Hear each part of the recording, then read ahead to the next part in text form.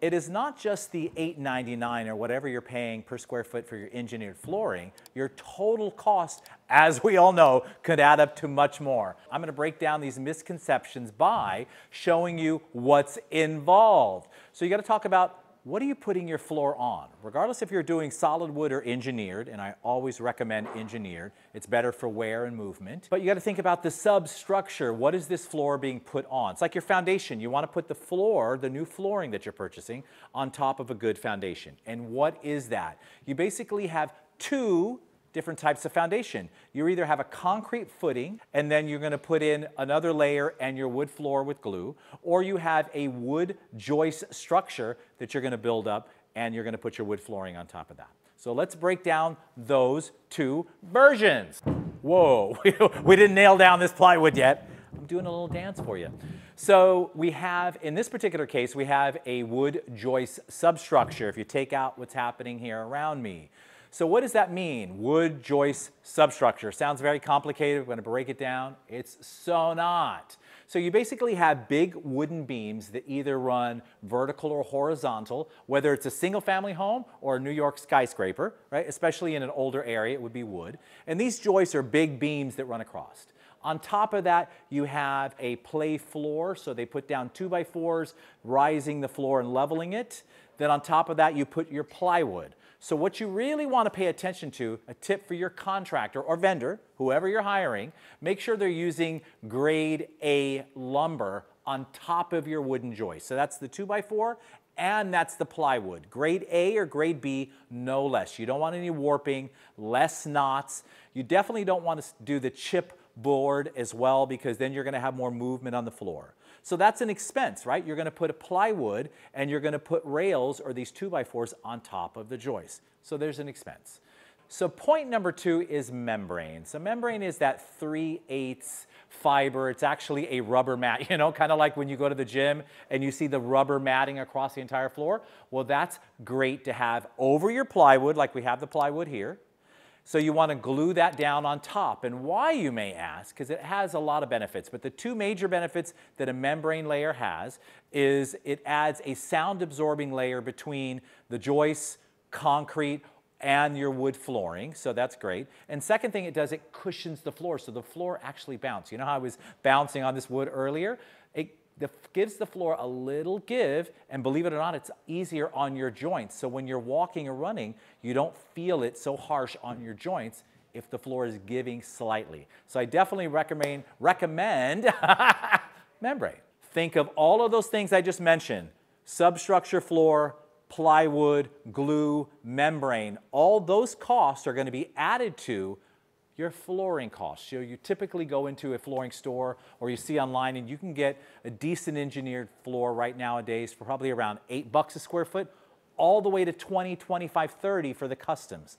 So you think, okay, that's not so bad, divide that cost times the square footage. So you may ask, why do I need to go down to my substructure? Well, we're on that plywood and it's not nailed down.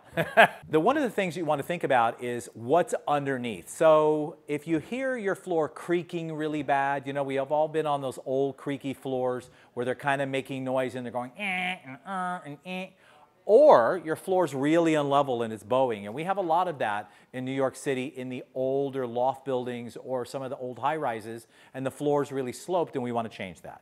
So, in order to correct either the really heavy creaking or the dips in the floor, we've got to take it out and go down to the substructure, which is your joist, your wooden joist, or in this case, we have steel beams that are playing as our joist, and we're going to lay on top of that. And that, I think, is the number one thing. If you're going to put really good flooring down and you're going to spend all this money and then build everything on top of the floors, keep in mind your walls, your whole home is built on top of those floors. If the floors are giving and they're not structurally sound, they're making noise or they're warped, you got to go down to the substructure. So we're coming down to the million dollar question, right? What does all of this cost? So you have your flooring cost, So the materials themselves, again, between, I would see $8 a square foot for a decent entry level engineered floor, all the way up to 30, 40, depending upon how custom you're going to get. I think a good range though in today's market, depending upon where you are in the country, of course, but is around 12 to 15 is a really good range for a nice wear level engineered floor. Second thing you got to consider is breaking down the cost of all the substructure. So you probably have maybe, and again, depending upon where you are, I want to gauge somewhere around $5 a square foot for demolition and carting of your existing flooring, and that includes the subfloor, so going down to the subfloor material. And that is really based on if it's glued or nailed. Those prices may vary depending upon how many layers of subfloor you have and how glued together they are. It could almost double. But I think five to seven dollars a square foot arranged for carting and demo is great. And then you're talking about replacing the plywood and the membrane. So two different costs. Your plywood, grade A, grade B, really good plywood. Doesn't have to be finished plywood, mind you. Your labor and materials should probably be around five to seven dollars a square foot. Uh, again, and that's depending upon in the country where you live. And then your membrane. The membrane cost is usually around three to four dollars a square foot. Plus your labor should be around three dollars to four dollars a square foot. Again, depending upon where you are. And then your glue. Glue's pricey here, guys. Glue can run up to five hundred dollars per five gallon. And another tip, while I'm thinking about it, there's some eco-friendly versions of the glues today that will keep your VOC uh, really down in your home so you don't have to worry about toxic levels. So when you're purchasing glue for the flooring especially, look at non-VOC or very low VOC glues.